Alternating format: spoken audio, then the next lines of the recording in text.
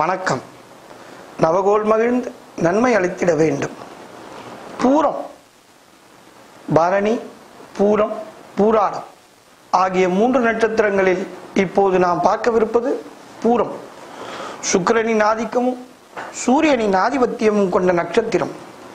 எதிர்காலத்தை பற்றி அறியும் ஓர் இன்ட்யூஷன் இவர்களுக்கு இயற்கையிலேயே இருக்கும்.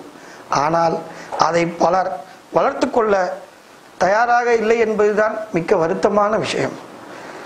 காரணம் கொஞ்சம் கனவுகளிலும் கற்பனைகளிலும் கரைந்து விடுவதுதான். இந்த கனவுகளையும் கற்பனைகளையும் குறைத்து கொண்டால் அந்த இன்ட்யூஷன் என்று கூறக்கூடிய அந்த கலையை வளர்த்து கொண்டால் மிகப்பெரிய எதிர்காலம் இவர்களிடம் இருக்கிறது என்பதை ஆரம்பத்திலேயே உங்களுக்கு மகிழ்வுடன் சொல்லிக் கொள்கிறோம்.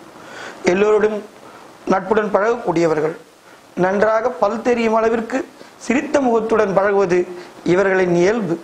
ஏன்? அந்த சிரிப்புக்கு பிறகுதான் பேச்சையே தொடங்குவார்கள். அதனால்தான் எப்போதும் முகத்தில் ஒரு வசீகரம் கொண்டு திகழ்வார்கள். சூரியனின் சேர்க்கையால் ராஜாவைப் போல் மனம் பெரியதாக பறந்து நல்ல சேவை மனப்பான்மையை கொண்டவர்கள் சமூக அக்கறை கொண்டவர்கள் நல்ல திறமைசாலிகளாக விளங்குபவர்கள். ஆடை ஆபரணங்களை தேர்ந்தெடுத்து அணிய மிகுந்த ஆர்வம் கொண்டவர்கள். நேர்மையை எல்லா நேரங்களிலும் கடைபிடிக்க விரும்புவார்கள் காரண காரியங்களை ஆராய்ந்து அதன் பின் முடிவு எடுப்பவர்கள். கூடுமான வரையில் வறுமையில் வாடும் நிலை ஏற்படாது. வறுமை வந்தால் மீள முடியாத நிலைக்கு தள்ளப்படுவார்கள் என்பதுதான் வருத்தமான ஒன்று. வாய்ப்பிற்காக பொறுமையாக காத்திருப்பவர்கள் முன்னேறும் வாய்ப்பை தேடிச் சென்று மனோதிடத்தை பெருக்கிக் கொண்டா விரும்பாதவர்கள். அம்பாள் ஆண்டாள் பார்வதி போன்ற பெண் தெய்வங்களை சதா நினைத்து பிரார்த்தனை செய்து தங்களை மெருகேற்றிக் கொள்ளுங்கள்.